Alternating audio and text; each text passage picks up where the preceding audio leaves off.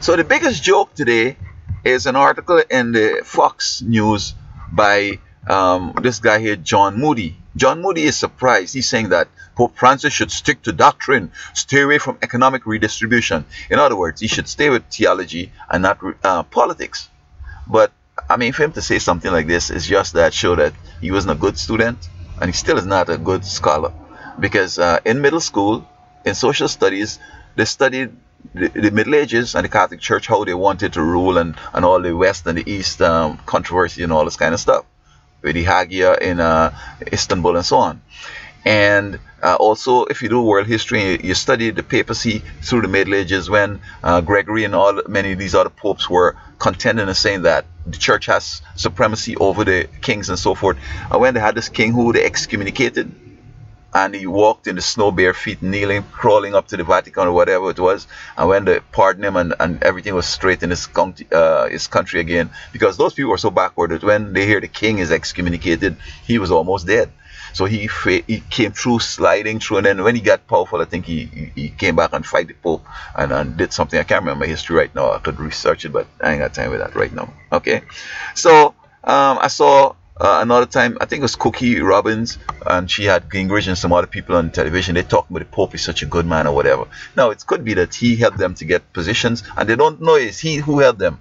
But maybe they're not smart enough and they got help to get into positions, and so they have a loyalty, and maybe the handlers tell them, go out and defend the Pope. Um, and, and so, look, after the Roman Empire fell, these guys and they go through the turmoil. Constantine eventually came and he, he brought in paganism and all this um, stuff that they were doing in pagan Rome and caused the church to have a slacking off because the church was increasing and creating uh, problems in pagan Rome.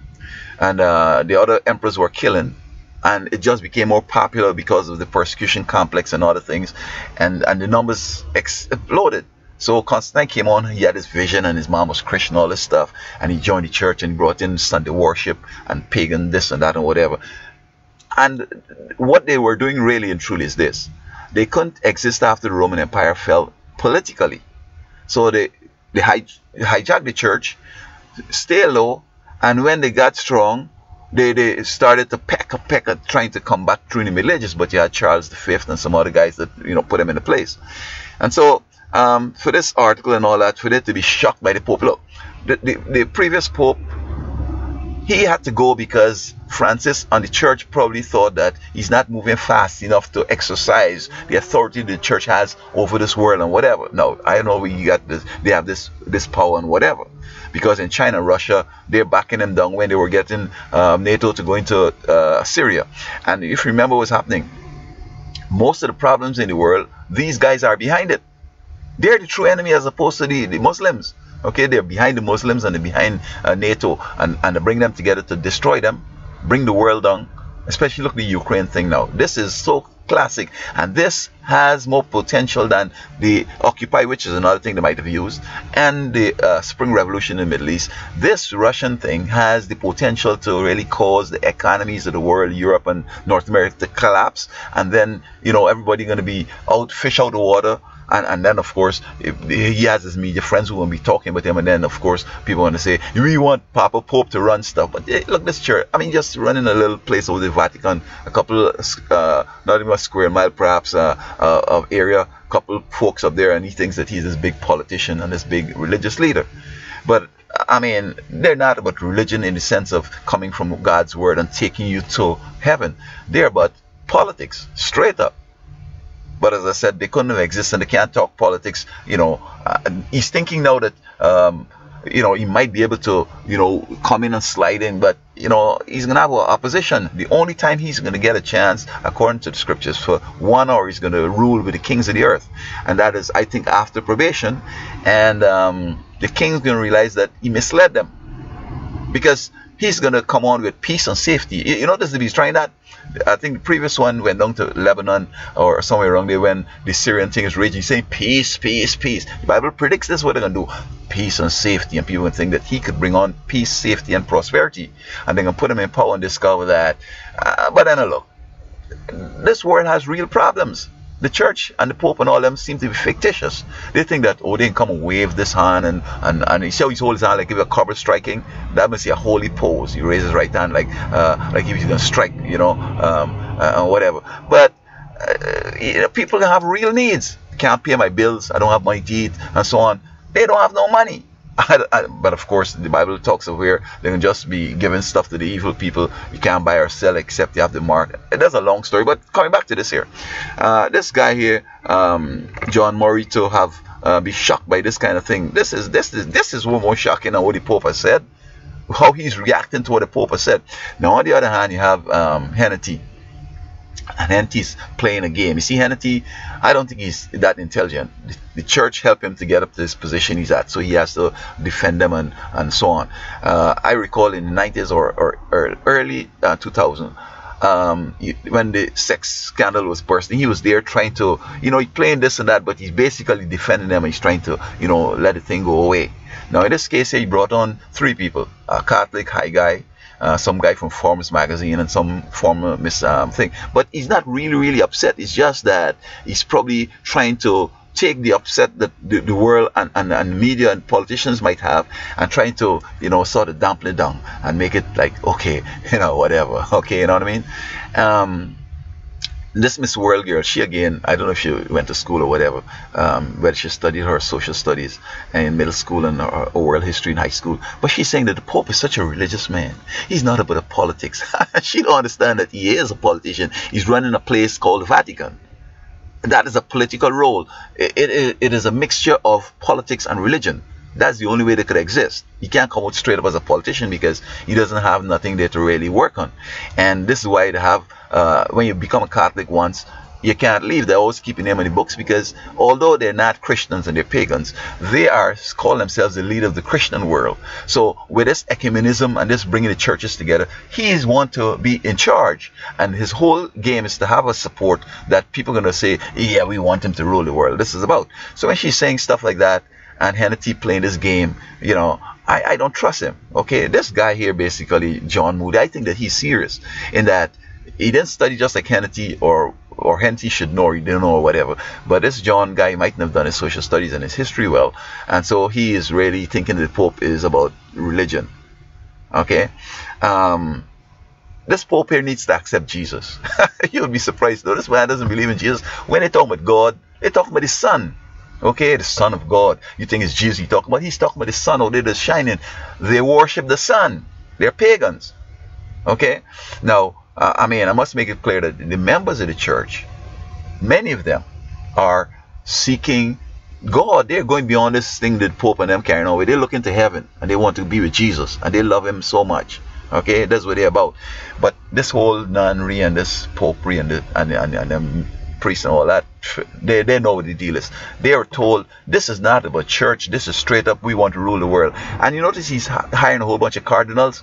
They have this thing so worked out that uh, they have a hierarchy. The Pope is in charge of the world. When the, the pull the religious, the political uh, stunt, and the cardinal's going to be, you know, controlling maybe countries or, or or states and countries like in California or New York, whatever, and then he has right down to, you know, um, down to uh, the parishes and whatever. But this thing ain't gonna work the way he's thinking. I'm saying that this pope, I think they're gonna get rid of him soon because he's getting people upset and nervous. And I'm saying for the longest while that this is what he's really about he's not going to achieve what they think he's going to achieve. Now, as a Jesuit and as a soldier and as a guy who's going to kill with no sweat, I, mean, you know, it's not going to happen. What happened in the Middle Ages when they were killing the uh, Huguenots in France and whatever? It's not going to be like that. Obama is not going to give him no permission to kill no Americans. Obama can't do that. Okay, we have the laws here. You have the Congress, the the state, the I mean the the um, the, the representative and the Senate. You have the court. You have these police. I mean, how, how you expect Obama gonna tell him you could only kill Americans because they're following your stuff? So he has a long time to wait. And again, this firestorm that he's uh, risen is another indication, another check to tell him that you don't have this influence that you think you have, and the devil is just misleading you, thinking that this is your time. It's not yet. The world has to become more evil. Say about 90% of the world is evil which means that they're gonna be educated. They go through school, they have a degree, but they know nothing. Okay, you're gonna be able to pull them scam on them. But right now, it's not like that as yet. Okay? And furthermore, I, I John Mark Moody doesn't even know that they're subverting churches right now. Okay? They're trying to do the Adventist church and get them in, going into stuff that just like the, the um, the Reformation when folks were fervently going forward and spreading, you get to Jesus and read the Bible and all that stuff. They got them doing something different, and eventually the Reformation was dead. I mean, they did killing, they did the, uh, you know, all the stuff they were doing in the Middle Ages, the Holy Index, the Holy Inquisition, and these guys don't understand what the Catholic Church is about. Okay, and so I mean, I'm amazed that the world is so upset with this kind of thing. But I mean, you're gonna see he's gonna come out with some more thing. And uh, as I said, I don't think he's gonna be the one that's gonna do it. I think they're gonna get rid of him very soon because he's just going beyond himself and um, thinking that the world is ready and the world is only his influence. He thought he had the um, the Middle East thing going real good, and he get NATO to go into because you see they got Bush and them to go into Iraq and Afghanistan crusade thing, second Bush said the crusade. You never won. The crusades were never able to hold no place for long, and they were and they lost every time. Okay, so you know, I mean, to me, when he said crusades, you, you know, it's not gonna go anywhere. Okay, it's gonna be a hundred year war, and then still you have to go home because it's not gonna happen. All right, and so Obama and others not going in, so they get people to rise up, to get uh, um, Gaddafi and they get Mubarak and get some other people and hoping that the conditions that are going to exist after these guys gone will be of such that they're going to pull Obama into it.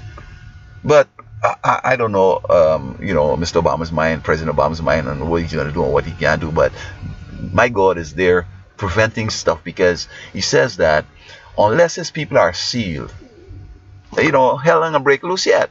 And I think that Obama has two more years, and I think the two years going to go without the drama that the Pope expects so that he could come, you know, um, priest. He got to wait for Jeb Bush.